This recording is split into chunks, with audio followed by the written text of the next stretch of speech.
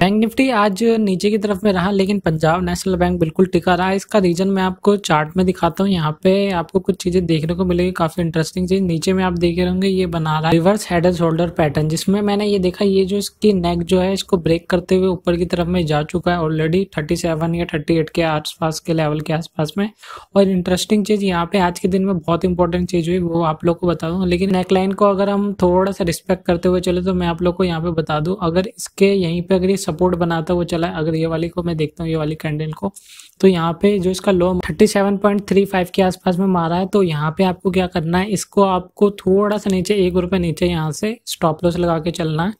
और अगर यहाँ पे सपोर्ट लेते हो, ऊपर की तरफ़ में चला जाता है या फिर इस लेवल पे आता है तो यहाँ पे आपको एक्यूमुलेट करने का चांस मिल जाएगा। लेकिन अगर इसको तोड़ देता है यहाँ से तो फिर हम फिर मान सकते हैं, इसमें शॉर्ट पोजीशन आप बना सकते हैं। जैसे इस चीज़ को अगर तोड़ता है थर्टी के लेवल पे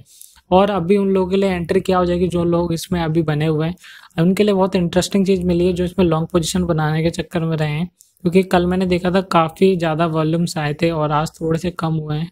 और उसका मैं देख रहा हूँ, अगर मैं छोटा से से कर देता हूँ तो यहाँ पे 40 के लेवल को भी टच किया था, लेकिन जैसे ही 40 के लेवल पे करता है, वहाँ पे सप्लाई इतनी ज़्यादा आ जाती है कि से नीचे की तरफ़ में आना स्टार्ट हो जाता है। तो यहाँ पे आप देख रहे होंगे, इसी इसी रेंज में अभी कंसोलिडेट हुआ है फाइव मिनट के, अगर मैं टाइम फ्रेम में देखूँ तो इसके अंदर में कंसोलिडेट होता जा रहा है तो इसका मतलब ये मान सकते हैं, अगर यहाँ से ये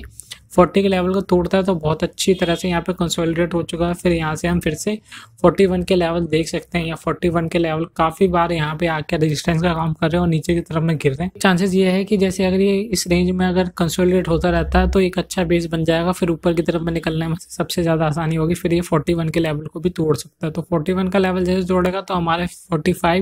और फिर तीसरे टारगेट हमारे रहेंगे। फिफ्टी के लेवल पे। तो यहाँ पे थोड़ा पॉजिटिव वे में देख रहा हूँ, क्योंकि बार बार ये इस लेवल पे आ रहा था थर्टी एट पॉइंट एट्टी के आसपास में तो बार बार यहाँ से हाइप लेके ऊपर की तरफ़ में आ रहा था। और जो बैंक निफ्टी था, वो नीचे की तरफ़ में था, तब भी उसको थोड़ा सा फ़र्क नहीं पड़ रहा था उस चीज़ का। उसके साथ में नीचे आ जाए, नहीं, या नीचे नहीं आया, लेकिन यहाँ पे एक सपोर्ट बनाता हुआ ये एकदम इसकी जो क्लोजिंग जो रही पॉजिटिव में रही, वो भी एक परसेंट के ऊपर में तो काफ़ी मैं पॉजिटिव वे में मान के चल रहा हूँ। अगर बैंक निफ्टी परफॉर्म करता है, जैसे कि अभी आपने कुछ टाइम में देखा कि अभी बैंक निफ्टी काफ़ी रिकवर हुआ तो वैसे ही अगर ये थोड़ा सा और इसके साथ में चलने लग गया और पॉजिटिव में अगर क्लोजिंग देने लग गया बैंक निफ्टी भी तो ये बैंक पंजाब नेशनल बैंक भी अच्छा खासा रिटर्न बना के आपको दे देगा। जिन लोगों ने इसमें एंट्री पहले से कर चुके हैं, उन लोगों को कहूँगा कि अभी बने रहें, अभी फ्रेश एंट्री ना करें और जो करना चाह रहे हैं, दोबारा से इसमें चाह रहे हैं कि मैं इसमें डाल दूँ पैसा। फोर्टी के ऊपर के लेवल में आप डालें, फिर आपके टारगेट फोर्टी फाइव के होने चाहिए, क्योंकि यहाँ पे एक बेस बन जाएगा और बेस बना के जब भी ऊपर की तरफ़ में निकलेगा तो फोर्टी वन का जो बार बार इसका रजिस्टेंस आ रहा था, उसको तोड़ने में से ईजी पड़ जाएगा, क्योंकि यहाँ पे देख रहे होंगे बार बार यहाँ इस जगह पे भी और इस जगह पे भी आके ये बार बार नीचे की तरफ़ में आ जा रहा था। बार तगड़ा रिजेक्शन मिल रहा था, जैसे कि आप देख रहे हो, यहाँ पे ये जो 42 के लेवल को तोड़ता ऊपर के आसपास में गया, लेकिन फिर वहाँ से इसे फिर 38 के लेवल के आसपास में पटक दिया गया। तो अगर यहाँ से ये अच्छा खासा कंसोलिडेट होता है एक अच्छा बेस बना देता है इसी लेवल पे, और जैसे कि हमने ये वाली नेक लाइन को भी तोड़ते हुए देखा तो ये काफ़ी ज़्यादा पॉजिटिव वे में है कि इसके ऊपर में ही रहेगा तो पॉजिटिव वे में रह सकता है पंजाब नेशनल बैंक फिर आप फोर्टी के टारगेट देख सकते हैं।